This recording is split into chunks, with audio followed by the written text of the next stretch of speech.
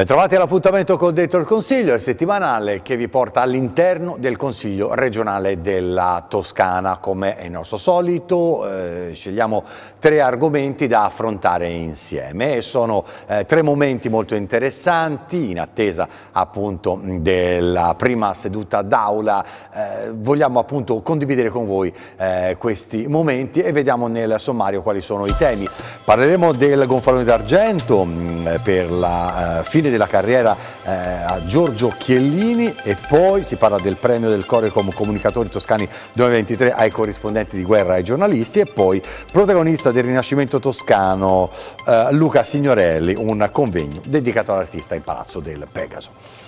Il primo argomento ci porta al di fuori dalla sede del Consiglio regionale della Toscana in via Cavour a Firenze, andiamo direttamente a, a Livorno perché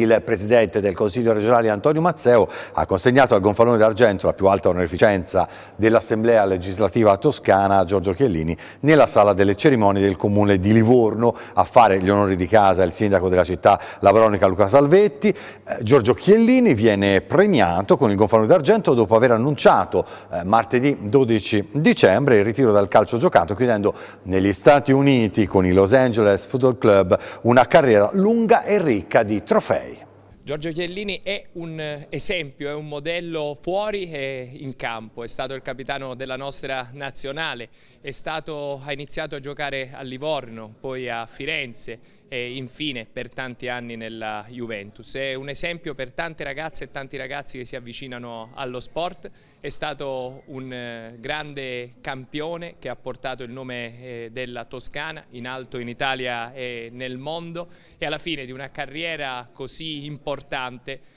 direi unica, eh, con la coppa alzata a Wembley e noi abbiamo voluto dargli questo riconoscimento per ringraziarlo e per chiedergli di continuare a portare in alto il nome della Toscana nel mondo. Ehm, il suo è un esempio positivo, un ragazzo che si è fatto nei campi di periferia, che ha deciso di continuare a studiare, con eh, una laurea in business administration. Eh, sono certo che porterà eh, tutto questo anche fuori dal campo come manager sportivo perché poi alla fine l'esperienza in campo ma anche quella fuori dal campo è molto molto importante. I ragazzi e le ragazze lo hanno a modello ed esempio, un po' mancherà nel calcio italiano e nel calcio mondiale. Con i suoi piedi ruvidi ma il cuore gentile perdiamo uno dei più grandi professionisti, difensori che la storia italiana abbia mai avuto, ma sono certo avremo ancora un grande uomo che si metterà a disposizione del nostro sport.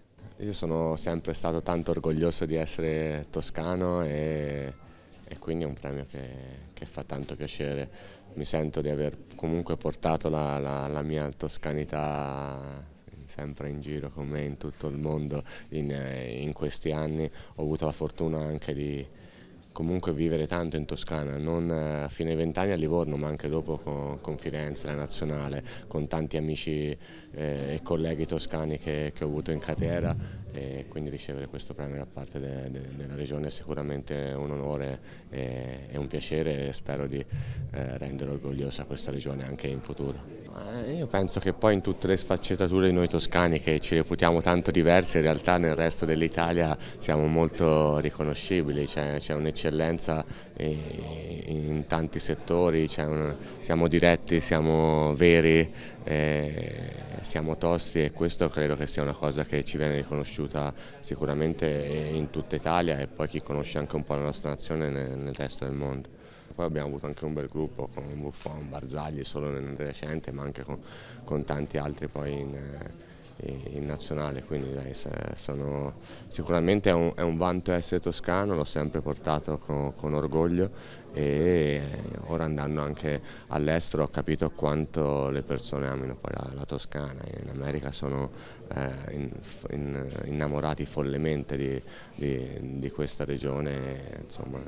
è ancora più bello sentirselo dire da, da, fuori. Noi avevamo a suo tempo omaggiato Giorgio Chiellini subito dopo i campionati europei, la vittoria, lui come capitano, poi l'abbiamo ospitato di recente a visitare la nostra mostra su Leonardo e poi da lì è nata l'opportunità che il Presidente del Consiglio della Regione eh, Mazzeo ha costruito e noi più che volentieri abbiamo deciso di mettere a disposizione i nostri ambienti per una consegna che è di ambito regionale eh, che dà lustro naturalmente anche alla città di Livorno perché Giorgio poi è cresciuto qua, è cresciuto nel Livorno 9, ha giocato nel Livorno contribuendo a una scalata ai vertici del calcio italiano, poi ha fatto la sua luminosa carriera ehm, ricordando sempre la sua città, tornando sempre qui e facendo anche tante cose belle per realtà della nostra Livorno. Quindi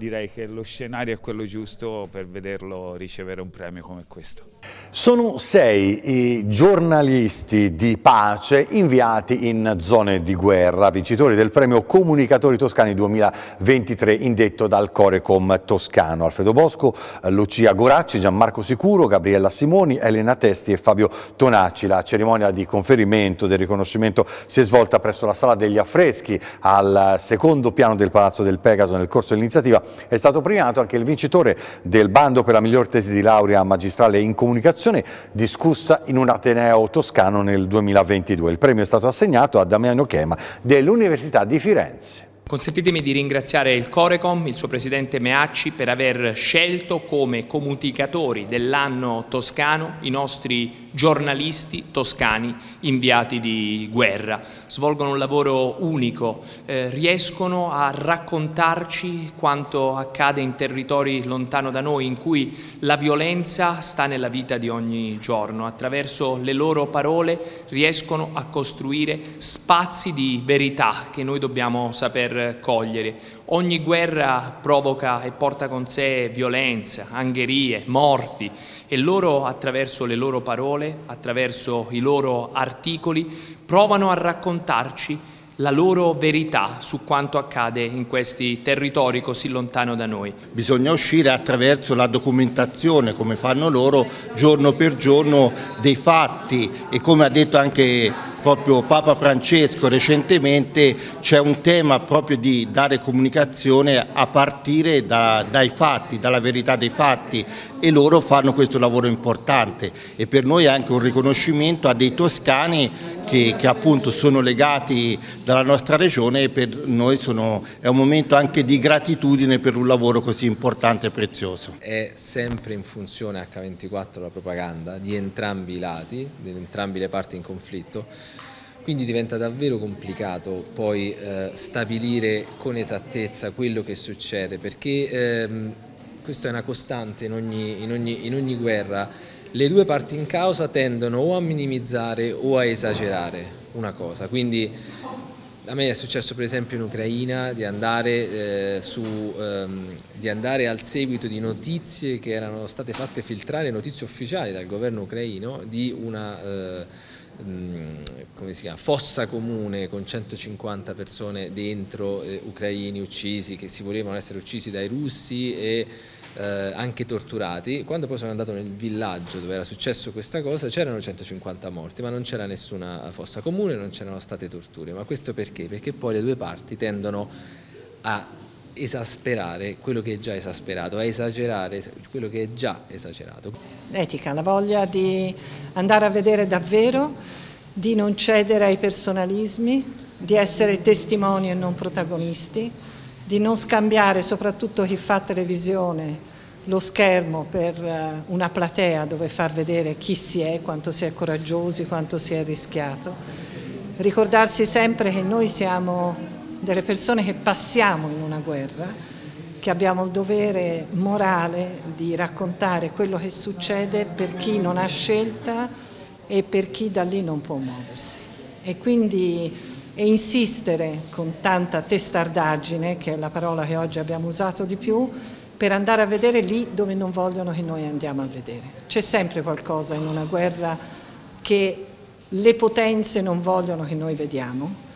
c'è questa mania di intrupparci e farci vedere quello che loro vogliono, noi dobbiamo cercare di andare a vedere quello che gli altri non vogliono farci vedere. La mia tesi prova a portare uno sguardo interdisciplinare su quella pratica di appropriazione della musica da parte degli attori politici che è diventata una tradizione nel corso degli anni. Quindi quell'uso in campagna elettorale di elementi della, della, cultura pop, in particolare della musica, della popular music, da parte di attori politici per riposizionarsi, per darsi oltre che un volto, una colonna sonora per il pubblico. Luca Signorelli, protagonista del Rinascimento in Toscana, è il titolo del convegno che si è tenuto a Palazzo del Pegaso eh, per celebrare il maestro cortonese a 500 anni dalla sua scomparsa. Il convegno si è, si è svolto a conclusione della mostra Signorelli 500, maestro Luca da Cortona, pittore di luce e poesia che si è tenuta al Museo dell'Accademia Etrusca della città di Cortona. Il curatore scientifico è stato Tom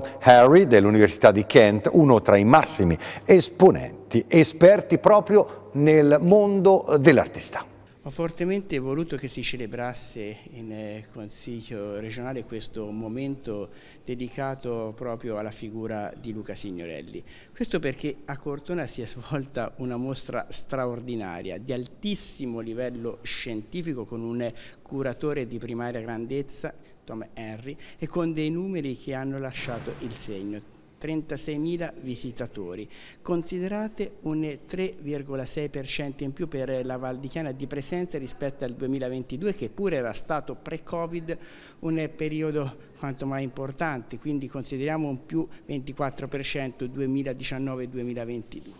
Siamo riusciti con questa mostra a far conoscere Cortona ancora di più al mondo ed è particolarmente importante che questo eh, lavoro che si è fatto negli anni, io ricordo aver dato un importante contributo all'ideazione di questa mostra fin dal 2019 e mostrando la vicinanza della regione toscana siamo riusciti proprio a celebrare nel modo migliore Luca Signorelli ed era importante che si svolgesse anche qui presso il cuore del Palazzo del Pegaso un momento dedicato alla celebrazione del grande artista. Siamo qua anche per eh, rappresentare quello che ha fatto il Comitato Nazionale sulla Mostra de, del quale sono onorato di essere il Presidente e di aver eh, legato una grande squadra dalla Regione Toscana al Comune, al Ministero, abbiamo ottenuto una mostra molto importante grazie al nostro Museo Mike, quindi alla mostra che è stata preparata ed allestita all'interno dello stesso, con 36.000 ingressi, grande successo internazionale e anche grazie al, al diocesano, al museo locale della diocesi perché vanta eh, opere importanti sul Signorelli. Chiaramente la mostra non finirà eh, a conclusione dell'allestimento del Maico ma proseguirà con una serie di itinerari e quindi siamo qua per rappresentare gli stessi. I cinque itinerari che privilegiano ovviamente Cortona ma privilegiano anche la Valdichiana Aretina,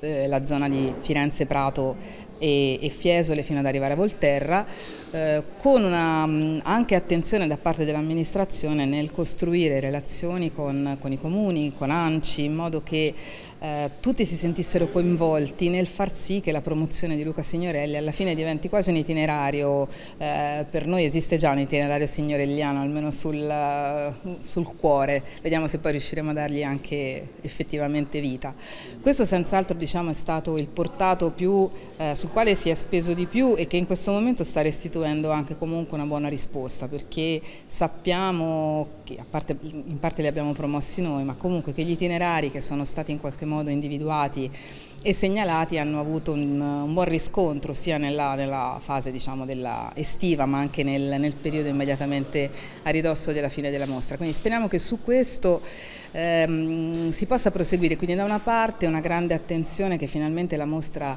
ha ridato su un artista per certi aspetti a volte un po' dimenticato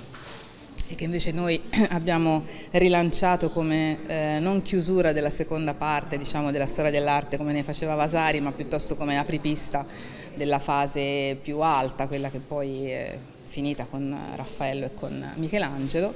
Eh, quindi un'attenzione sicuramente sulla parte pittorica di questo artista che meritava di essere rivisto e ripreso e ristudiato e contemporaneamente però un'apertura un verso tutto quello che di Signorelli i nostri territori conservano. Ed è anche l'ultimo argomento che abbiamo trattato in questo nostro incontro. Tra sette giorni saremo ancora insieme. Per tutte le informazioni e delucidazioni vi ricordo il sito internet www.inconsiglio.it. Vi aspetto come sempre qua tra sette giorni dentro il Consiglio.